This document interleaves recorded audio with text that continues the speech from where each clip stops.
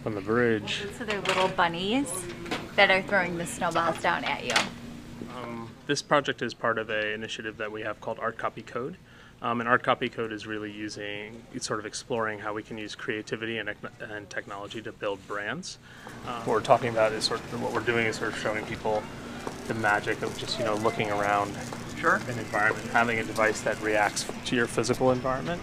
So yeah, so this is kind of where we were earlier with the musical ice, uh, icicles, and so people can play these.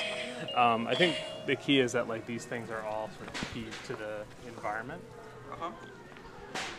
that we're in. So as we turn the corner, you'll see like this matches up with the aisle that we're getting.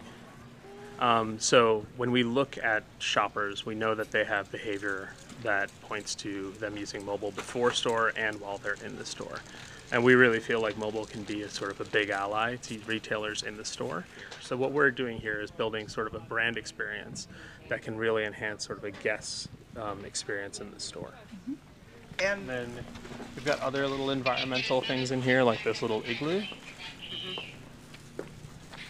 A uh, fire. And then if we actually bend down and take a look, there's a little snowman in there. If we want, we can get a little bit closer.